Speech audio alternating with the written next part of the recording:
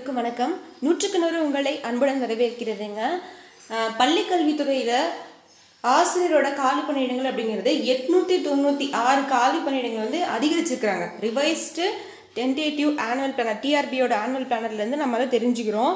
தமிழக கல்வித்துறையில் உதவி பேராசிரியர் பணியிடங்கள் ஆசிரியர் தேர்வு வாரியம் டிஆர்பி மூலம் நிரப்பப்படுகின்றன.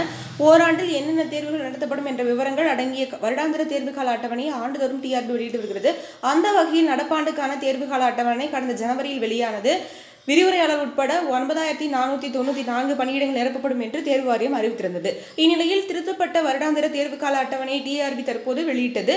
அதன் விவரம் வருமாறு பட்டதாரி ஆசிரியர் பணியிடங்கள் ஆயிரத்தி எண்பத்தி ஏழுலிருந்து ஆயிரத்தி எட்நூத்தி எழுபத்தி நான்காகவும் இடைநிலை ஆசிரியர் பணியிடங்கள் மூவாயிரத்தி தொள்ளாயிரத்தி இரண்டிலிருந்து மூவாயிரத்தி தொள்ளாயிரத்தி எண்பத்தி ஏழாகவும் உயர்த்தப்பட்டுள்ளது. இதற்கான போட்டித் தேர்வு டிசம்பர் மாதம் நடைபெறும். இதுபோல அரசு கலை அறிவியல் கல்லூரி உதவி பேராசிரியர் காலி பணியிடம் இருபத்தி நான்கு உயர்த்தப்பட்டு ஆயிரத்தி முந்நூற்றி ஐம்பத்தி எட்டு பேர் தேர்வு செய்யப்பட உள்ளனர். ஸோ வந்து பார்த்தீங்கன்னா நமக்கு எவ்வளோ இன்க்ரீஸ் ஆயிருக்கு அப்படின்னு சொல்லி பார்த்தீங்கன்னா எட்நூற்றி தொண்ணூற்றி ஆறு பணியிடங்கள் வந்து முன்ன இருந்ததை விட இன்க்ரீஸ் ஆயிருக்கு அப்படின்றத நம்ம தெரிஞ்சுக்கணும். சரிங்களா? ஸோ வந்து போட்டி அப்படிங்கிறது எந்த அளவுக்கு இருக்குதோ அந்த அளவுக்கு வந்து பார்த்திங்கன்னா நமக்கு படிக்கணுன்ற வெறி இருந்தால் தான் வந்து பாஸ் பண்ண முடியும்.